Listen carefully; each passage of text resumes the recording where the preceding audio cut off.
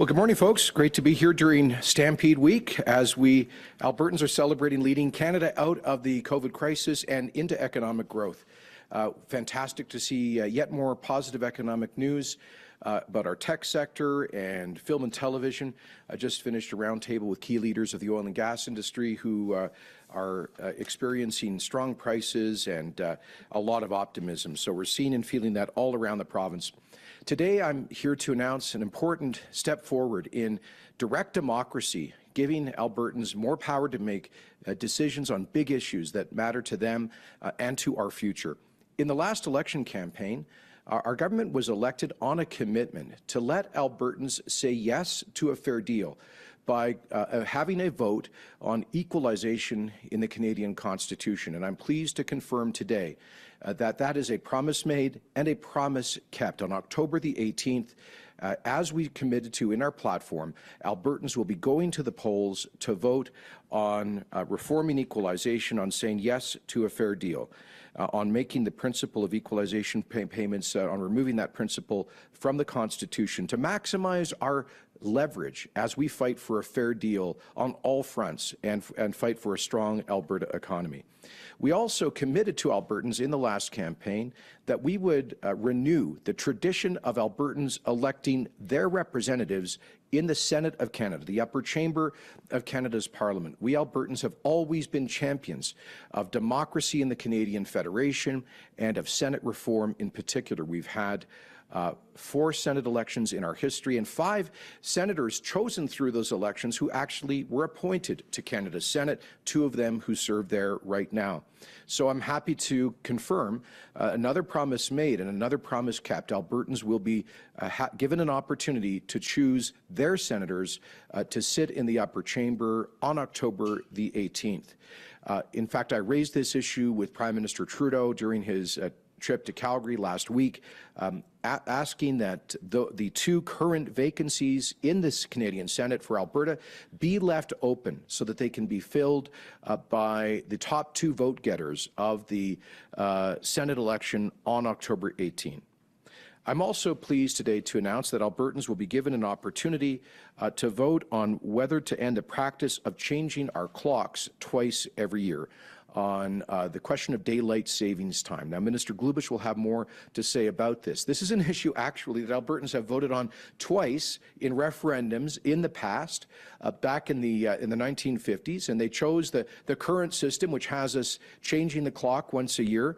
Um, but British Columbia, uh, uh, our province to our west, has decided to stick with one clock year-round, just like Saskatchewan always has. And uh, neighboring st states to our south and territories to our north have all decided uh, to stick to one clock. So we think uh, it's a great opportunity for Albertans to speak to an issue that will uh, affect them in a very direct way. As you know, following the re-election of Justin Trudeau's government in the fall of 2019, uh, Albertans were uh, rightly frustrated to see a prime minister elected after having openly campaigned against Alberta and our largest job-creating industry, our energy sector. And that's why Alberta's government appointed the Fair Deal Panel uh, to consult with Albertans about how we can get a fair deal in the Federation. And uh, what, two of the recommendations coming, of that, coming out of the Fair Deal report were that Alberta pursue uh, the potential creation of our own uh, provincial pension plan and of an Alberta provincial police force, just like Quebec has. Of course, Ontario, Quebec, and Newfoundland all have their own uh, prov uh, provincial police forces that provide strong, effective, and accountable community policing. And of course, Quebec, since the mid-1960s, has successfully operated its own uh, public pension program. So we have done uh, significant research into these two big ideas about how to build a, a stronger, uh, more resilient Alberta. And Ministers uh, Toews and Madu will be speaking about uh, the work that's been done to date and uh, more work that yet is yet to be done before uh, we consult directly with Albertans uh, in the future. We want to get those big issues right. We don't want to rush them. There are, they are both complex issues. I think they both hold enormous potential for a stronger and more prosperous Alberta. Uh, I'll just close before referring to uh, my colleagues here to the importance of the equalization referendum that we'll be facing on October the 18th. Alberta has been the engine of Canada's prosperity in recent decades. We have contributed through our federal taxes over $600 billion to the rest of Canada. And I believe Albertans are proud of the role, the nation building role that we have played. We Albertans are happy to share some of our good fortune when times are good here, but bad elsewhere. But what we find very frustrating is a system which has had us contributing on average $20 billion a year net through our federal taxes to other provinces, even while we have been living through a, a prolonged recession, a period of economic decline and stagnation with high unemployment, low incomes, lower incomes, and huge uh, provincial deficits. And yet we have been, through our federal taxes, through the ever-growing, for example, equalization payments uh, to one particular province, we've been contributing to other provinces with higher rates of economic growth, lower rates of employment, running big provincial fiscal surpluses. It just isn't fair. And what is particularly unfair is to subsidize public services in other provinces that have stood in the way of the development of our resources the key industry which helps to pay uh, for the equalization and all of the other fiscal transfers in the Federation. So October the 18th is a chance to say yes to a fair deal, to give the government of Alberta more leverage as we negotiate for a fair deal in the Federation. Uh, this is something the vast majority of Albertans, I believe, support. It's a chance for us to speak to our fellow Canadians in a friendly way and to remind them of the huge generosity of Alberta taxpayers in recent decades, and simply to ask for the ability to develop our economy, our resources, to create jobs so that we can continue to share some of our good fortune with the rest of Canada. With that, I'm going to uh, turn the podium over uh, to Minister for Service Alberta, uh, Nate Glubish, who will speak about the forthcoming October 18th referendum on daylight savings time. Nate?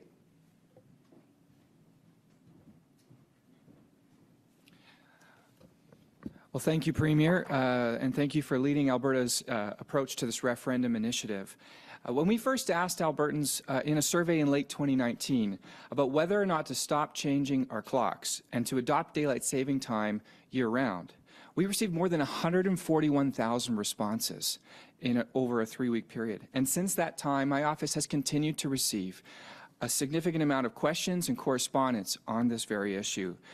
And as a father to an almost two-year-old son, I can relate to all of the families out there who would love to end the practice of changing our clocks. I think it's fair to say that following the survey, many Albertans hoped for an immediate change to the way we observe time. But as you know, last March, the pandemic began in Alberta in a big way, and Alberta's government needed to focus uh, on and to prioritize our response to it. Fortunately, thanks to the hard work of Albertans in following public health guidelines and getting vaccinated, we have been able to open up this province faster than anywhere else in the country, and Albertans are in line for the best summer ever. And now we can come back and take a look at this important question of daylight saving time, as Albertans have been hoping that we would. It is clear that Albertans are passionate about this, and uh, a change on this matter should not be taken lightly. How Albertans calculate time affects literally everyone in this province, as well as others beyond our borders. We know that in Canada, our neighbours in Saskatchewan do not fall back by an hour in the fall, and nor do they spring forward uh, in the spring. This makes things interesting for the border city of Lloydminster, which, uh, with the Alberta time zone extending beyond its borders to include the entire city. Last spring, the Yukon changed their clocks for the last time, opting to stay permanently on summer hours. British Columbia has passed legislation to stay on permanent summer hours, although they have not yet enacted their legislation. They will change their clocks for the last time when other jurisdictions in the Pacific region are ready to do the same. Similarly, Ontario has passed legislation to stay on permanent summer hours, though they will only bring that legislation into force when Quebec and New York State take the same decision. South of the border, a debate on ending the twice-annual time change is also growing. To date, up to 31 states have had or are having a debate on if they should stay on permanent summer hours, and of those states, 17 have passed legislation or a resolution to adopt daylight saving time permanently, including Montana, Washington, and Oregon. If we go even further away, debate is also taking place in the European Union, which is the only other region in the world where seasonal time changes of this nature are common. But there's a lot to consider before Alberta brings an end to the seasonal time changes uh, th that, uh, that have been a practice here for decades. I often hear from Albertans who want to stop changing their clocks, but I also hear from Albertans and concerned business owners and representatives who have concerns about moving away from the seasonal time change. For instance, we know that airlines and airport authorities are concerned about the impacts that this could potentially have on their schedules, as are members of Alberta's tourism sector. Professional sports organizations with ties to national broadcasts, such as the NHL, will all, have also expressed some concerns. For any industry that relies on a consistent schedule to operate, changing the way that we set our clocks in Alberta would be a fundamental shift. This is one reason why it is so important that we enable all Albertans to have a say in how Alberta observes time. It is also a critical reason why we should not rush into anything, but give businesses and families time to prepare and adjust. Right from the time I first announced an online survey for Albertans to complete, I said it was important that we synchronize as much as possible with other jurisdictions, which will help us to mitigate many of the potential impacts. There's no question in my mind that many Albertans would like to stop changing their clocks twice a year. It would make good sense to remain on daylight saving time, if for no other reason than because we want to remain synchronized with our neighbours as much as possible and the debate taking place by our neighbours and others across Canada and the United States is centred on permanent summer hours. Service Alberta will continue to research the potential positive and negative impacts of ending the time change and to examine ways to mitigate any of the challenges that may arise. But our next step is to ask Albertans a clear question about ending time change using the most robust survey tool we have, which is a referendum. And so on October 18th, when Albertans go to the polls to elect new municipal governments and school board trustees, we will also be asking them about this twice annual time change.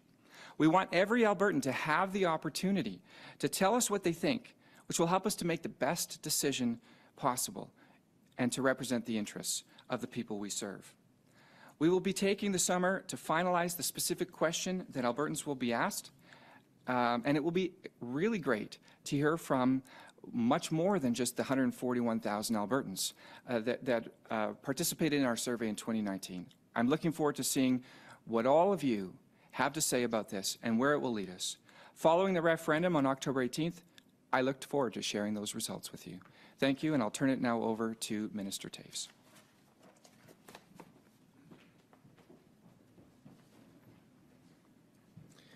Well, thank you, Minister. Thank you, Premier, and good morning.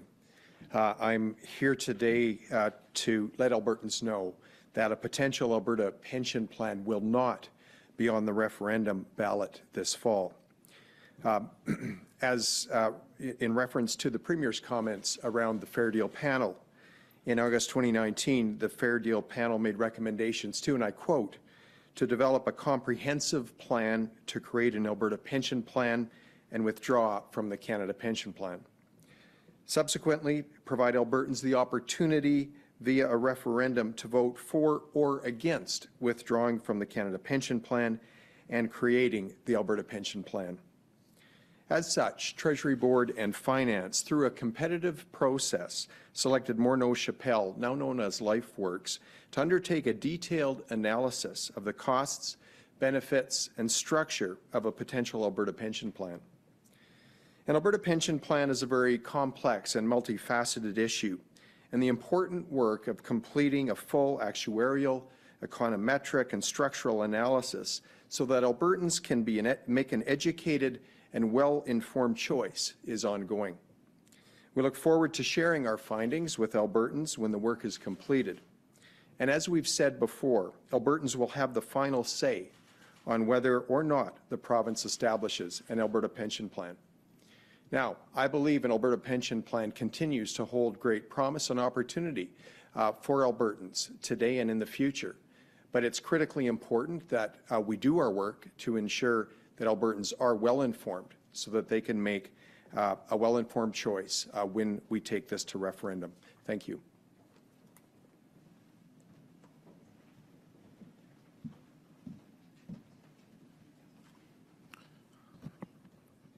Good morning. And, thank you to all of you uh, for coming out uh, this morning. As the Premier has explained, our government views the referendum questions as an important way for Albertans to have a say in how our province is run.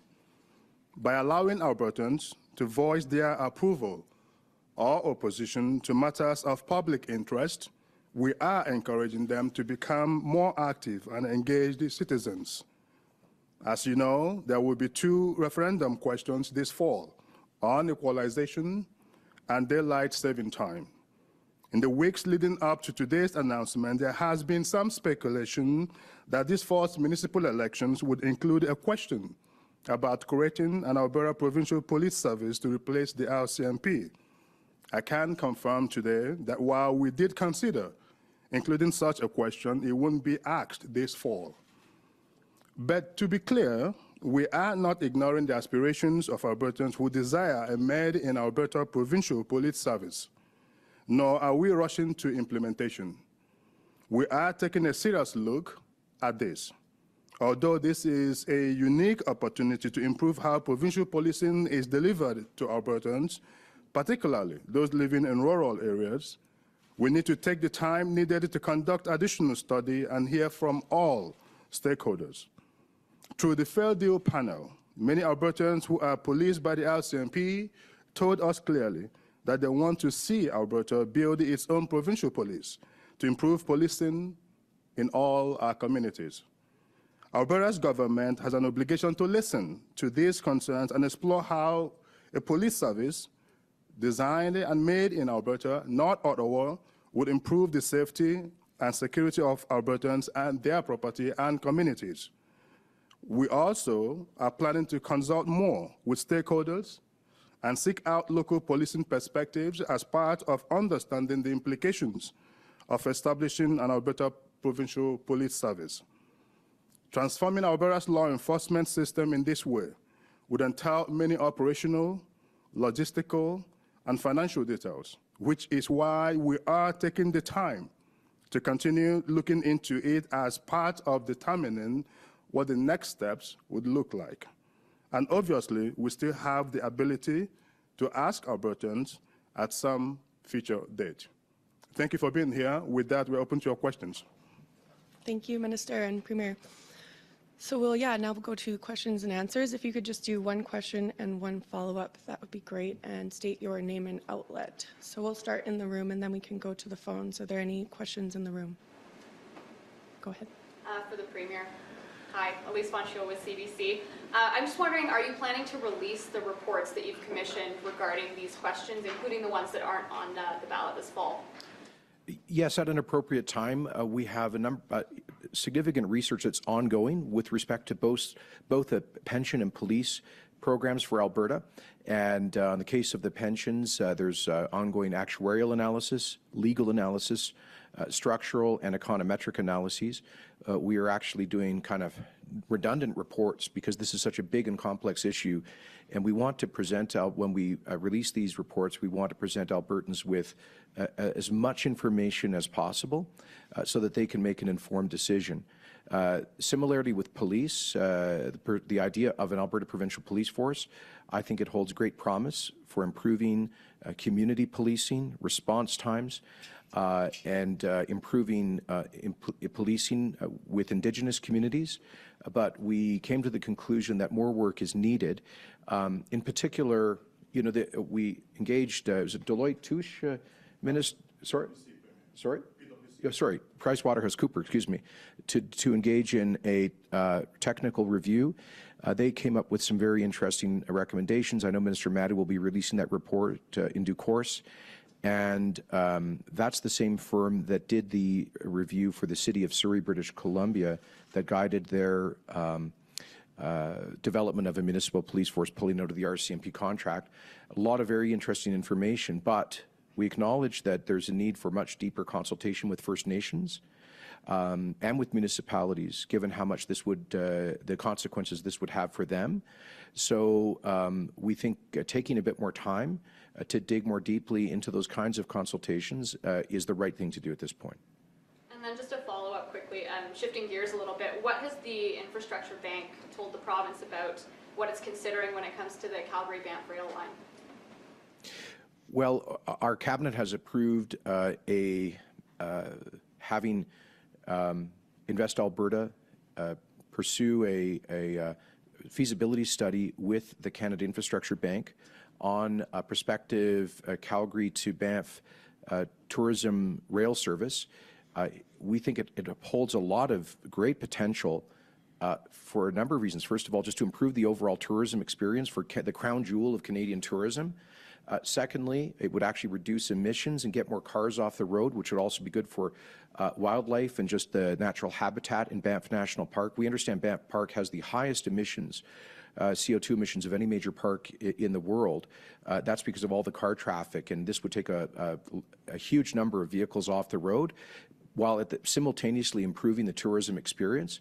We also think that it would help uh, the uh, mountain parks address the longstanding challenge of um, labor shortages. Uh, the federal government, Parks Canada, is not approving any significant new construction in Banff, and that means there's a real housing, there's always a housing challenge, and there's always a labor challenge. And so if, if a rail service could help to bring folks who are currently unemployed or underemployed in Calgary and Canmore, for example, and perhaps the perhaps Morley uh, from the uh, Stoney Reserve up to uh, uh, to jobs that are available in Banff that would also uh, help to create jobs. Uh, of course, it would also create construction jobs in the development of the project. Um, and I know that Banff is considering a, a long-term vision of being a much more of a pedestrian experience, like similar uh, mountain resort towns in uh, Europe. So we think it, it, the, the concept holds a lot of potential, but uh, we need to ensure that due diligence is done. Um, and that this uh, this project makes good financial sense. Uh, Canada Infrastructure Bank, we appreciate their their interest. Uh, we've been working uh, with them for the past couple of years, um, and now we're taking the next step forward on a on a very serious feasibility study. To the Premier, uh, Keean Bexte with the counter signal. Are you concerned that city, urban voters will pose an obstacle to removing uh, Trudeau's RCMP from Alberta? It- It's largely rural voters that want to get rid of them because they're subjected to the RCMP. Calgary Well, we- th- that's a good question. We haven't made any decisions, final decisions yet about this. Uh, We, we want respectfully to engage our First Nations communities in Alberta uh, about um, uh, the implications of changing the, uh, uh, the administration of, of uh, policing. And we also want to, to have a really respectful dialogue with municipalities. Now, having said that, um, we have not made final decisions about whether or when to proceed uh, with the possible referendum. Um, I will note that we have the ability under the Referendum Act to uh, hold referenda uh, in certain regions of the province. So one possibility, no, no final decision's been made on this, but one possibility would be to invite uh, only Albertans who are policed by the RCMP and who would be directly affected by this to vote on it. Because um, urban Albertans, uh, certainly in the, in the two biggest cities and five other communities, have the benefit of their own municipal local police services.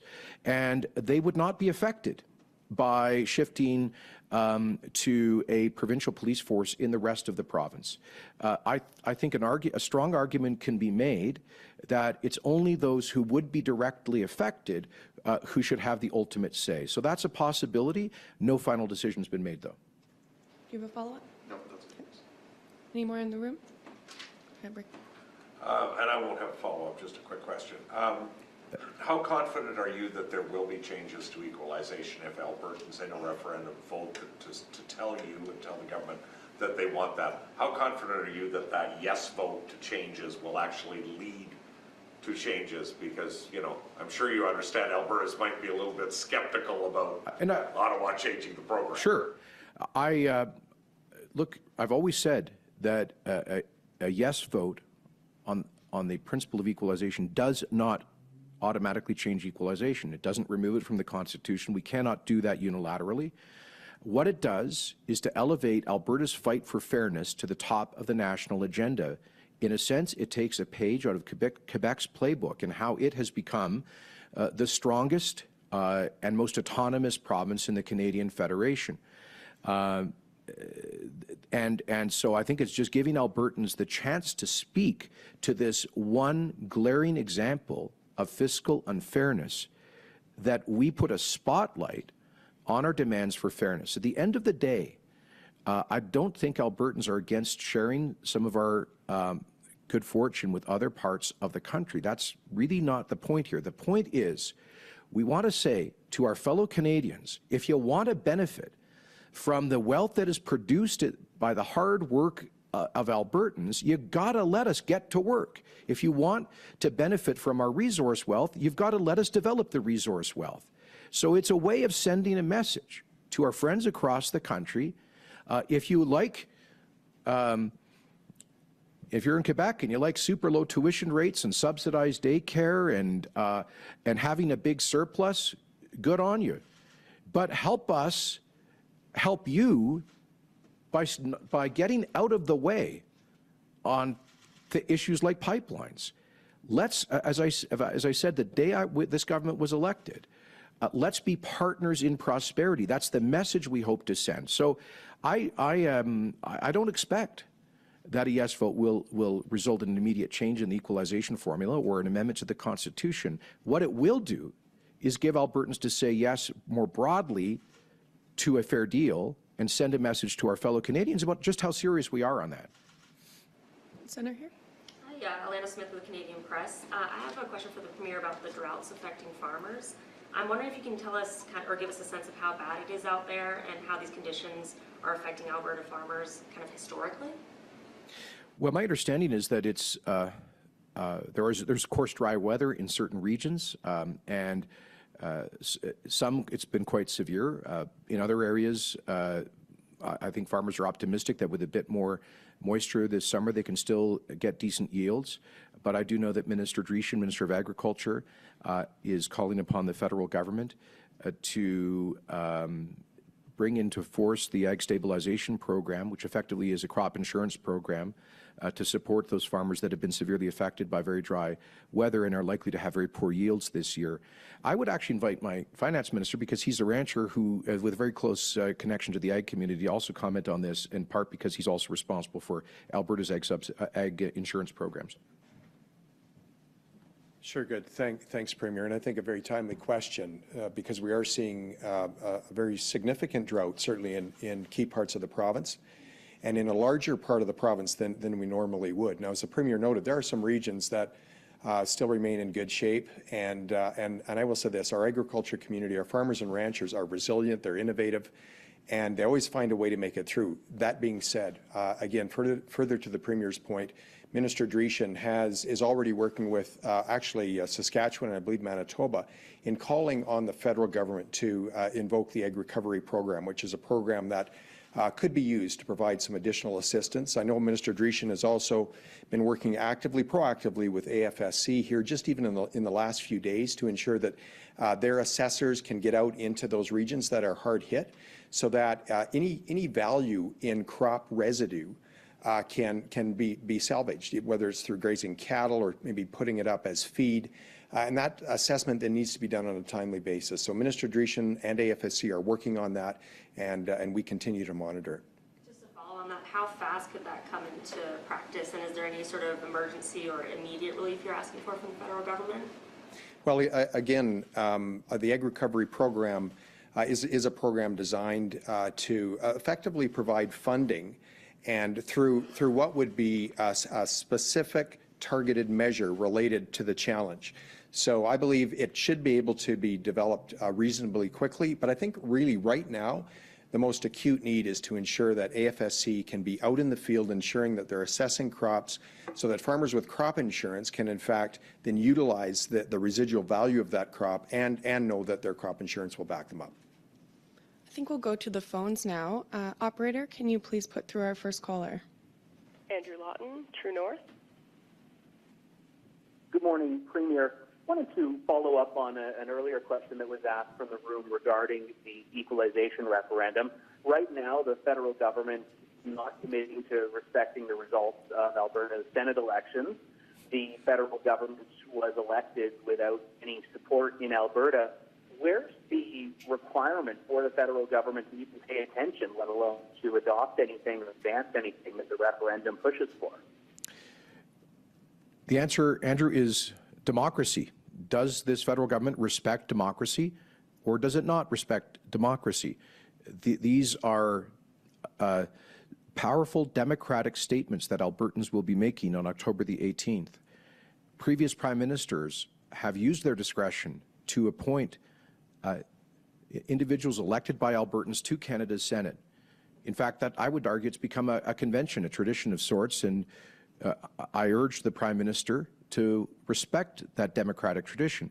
He did uh, say something interesting to me in that meeting. He said, you know, uh, Premier, you should encourage the candidates seeking election to the Senate to apply through the for appointment through the uh, Senate election process that his government has established, uh, and went on to say. Um, uh, if they go through that process and they they also happen to to uh, prevail in your uh, pr provincial election, uh, maybe that's something that we would consider. So I, I was encouraged to hear uh, the Prime Minister open the door at least a little bit uh, to the possibility in, in his government of respecting the uh, tradition of appointing elected senators, and we will um, uh, continue to. Uh, you know, I think at the end of the day, I encourage Albertans in large numbers to come out and, and vote in those elections to make a powerful statement uh, Uh, that uh, we will certainly convey to Ottawa.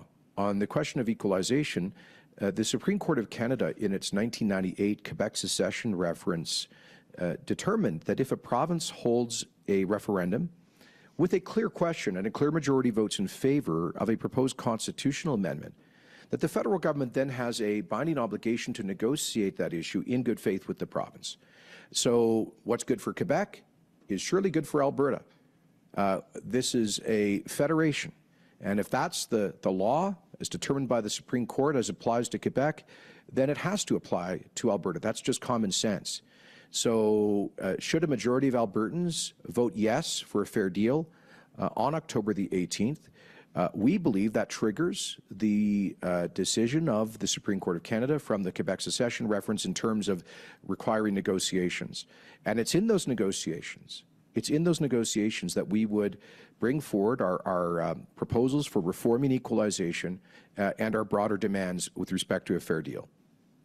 It doesn't stop us, I should add, Andrew, it does not stop us from uh, continuing to fight on multiple fronts uh, for this province's economic future, as we are doing, for example, through our own constitutional challenge of Mr. Trudeau's No More Pipelines Law, Bill C-69, uh, in a reference that is pending before the Alberta Court of Appeal. And Andrew, do you have a follow-up question? I do. Uh, thank you, Premier. I know you were very clear as recently as this week that Alberta will not pursue any vaccine passport and, and will not uh, recognize any effort as such from the federal government. I wanted to ask about uh, the local business level. If an individual business in Alberta were to uh, require proof of vaccination for its clientele or its staff, uh, where would that fit into your vision, either you know legally or morally? Well, as I've said, we're concerned about privacy rights, and um, we will not facilitate uh, vaccine passports in this province. We believe that um, uh, certainly for receiving government services, for example, it would be uh, inappropriate to require people to disclose uh, their personal health status. Uh, uh, requiring that people disclose their personal health status can only be done under, under Alberta law for very narrow purposes, like, for example, applying for life insurance, things that have a very legitimate and narrow purpose. Um, so a broad uh, requirement that people in the population disclose their personal health information uh, would, in our view, be a violation of uh, the spirit, if not the letter, of the Health Information Act and the principle of uh, protecting people's privacy. Um, uh, I would discourage businesses from going down that route. Um, on the other hand, if individuals choose voluntarily to share with a business um, evidence about their having been vaccinated, I guess that's their choice, but we aren't going to take any steps to facilitate that uh, in a formal way.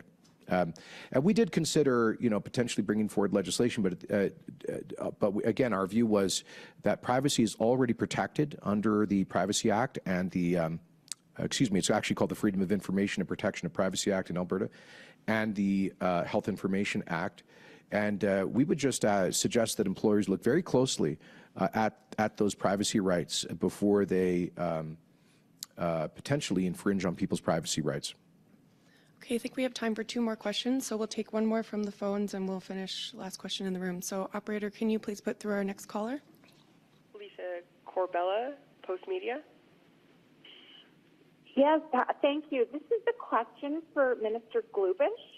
Uh, my question uh, is obviously to do with daylight savings. My understanding is that your question is going to ask Albertans if they want to stick with daylight savings time, but I've been speaking with an expert or a, a, a circadian rhythm expert, and he says that the best thing to do would be to return to standard time. So I'm wondering if you're um, considering keeping the time to standard time and not to daylight savings time. Apparently, um, cancer rates will increase, uh, diabetes will increase if we stick with the daylight savings because of delaying the time that morning starts. So I'm just wondering where you stand on that. Sure. Well, thank you for the question. Uh, and, and just uh, to be clear, we're still working on the final uh, wording of the question to ensure that we're bringing a very clear question to Albertans. Um, and we're very much looking forward to hearing what Albertans will have to say on this. We know that uh, everyone has a strong opinion on this, regardless of where they land.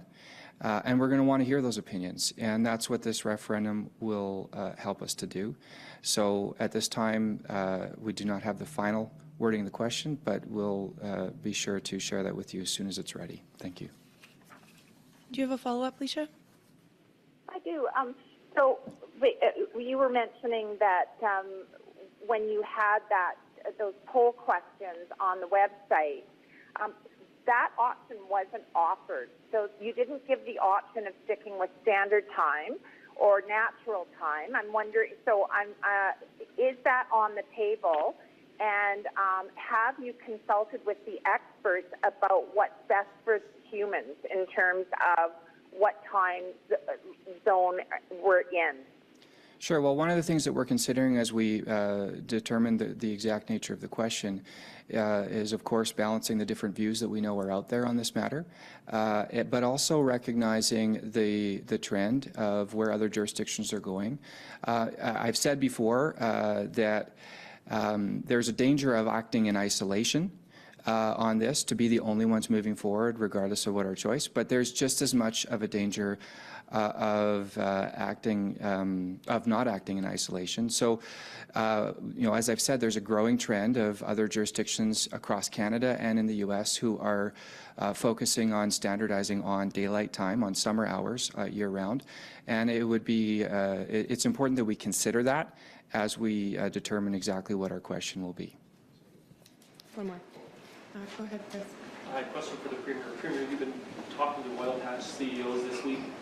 I know encouraging them to spend more money on capital spending to create more jobs, and I'm wondering what kind of commitments are you getting from them that they're going to spend more money this year and in 2022, and what can your government do to get more money coming? Great question. In fact, we just met this morning with uh, CEOs of a number of major oil and gas producers from the conventional sector, and we'll be meeting uh, right after this news conference with CEOs of the oil sands producers, and uh, and then later today, uh, I believe, with the service industry. Um, and we have a consistent message, which is uh, Alberta's government has uh, fought hard for a future for our energy sector. We have uh, worked with the industry to cut job-killing red tape. We have fought hard with the federal government to help save uh, billions of dollars for the industry with policies like equivalency on the major emitters levy, on methane regulations. Uh, we managed to get the federal government to remove gaseous fuels from the clean fuels standard. We got the billion dollars for the well site reclamation program. We got uh, equivalence. We got the Species at Risk Act equivalency that that avoided massive sterilization of land in northern Alberta, uh, and uh, and much more. So our point has been that we've done everything we can to ensure a bright future for our energy workers. And, and now, with strong prices and good future prospects, we hope the ener energy industry will do its part. Because after all, but part of my message is the resource that they develop belongs to the people of Alberta. And the people of Alberta have got to see some benefit when uh, these companies are able to repair their balance sheets from the crisis last year. Um, When they've got strong cash flow and good profits, we want to see uh, that uh, reflected in additional exploration and production and capital spending and job creation. I think they, they're hearing the message loud and clear. Uh, Some of them told us this morning that they're still working on repairing the damage done to their finances during the price collapse last year. But they are looking forward. I think the consensus I heard today is they're looking forward to a gradual, gradual expansion of their upstream activity. Uh, Some of them are hiring more people, and they expect to see that. I think what they were really saying was a, a kind of gradual ramp up in employment as opposed to a sharp increase. Some of them were expressing concern about uh, labor availability, and I heard the same thing visiting rigs um, in Travis's riding in uh, the GP area last week. So um, uh, my response was, well, there's one solution to uh, a shortage of labor, and that's uh, wage inflation. And I think after the cost cutting of the past five years, uh, the market has to respond with some uh, with some higher wages and and and and and. Um, more generous contract contract terms with uh, service companies, but that's up to them. It's a market; those are market decisions. At the end of the day, I'm just reminding them that uh, uh, Albertans own the resource, and we sure hope that they'll see some employment benefit from these good prices. Investors uh, have been telling the companies, at least that's what they're saying, is that they want to see return on capital, they want to see money in dividends and share buybacks, they don't want to see money spent on more production. So what are you prepared to do to make sure that they spend more money, other than just ask them to spend more money? Well, uh, uh, uh, to paraphrase Wilfrid Laurier, right now I'm, we're using the, the sunny way of persuasion. Um, and um, I, I, I, I think these companies understand that they, they have in Alberta's government a defender of their industry. Uh, and Albertans support the industry, but they do want to see some benefits of, in terms of grow, growing employment. So we'll just continue to remind them of that. Uh, this is an industry, you know, we we we uh, want to have a productive uh, relationship with the industry, but uh, it's got to result not just in in strong royalty payments to the Alberta Treasury, but in but in strong employment returns uh, to working Albertans, and uh, that's a message we'll continue to convey. Um, I get it. Of course, uh, investors want to see strong returns, and they're getting that. I mean, I think they're, they're, you're seeing uh, very strong, uh, almost record cash flow, potentially record profits. Um, understandably, there is still an overhang from the past five years and, the crisis of last April in particular. Uh, but uh, at the end of the day, you know what? There is, I, I think most forecasters foresee a global shortage in energy supply because of a scarcity of upstream investment around the world uh, in the last couple of years in particular. Uh, so I do think they, they will need to increase their capital programs uh, to meet that, uh, that growing future demand. Okay, thanks very much, everyone. Appreciate it.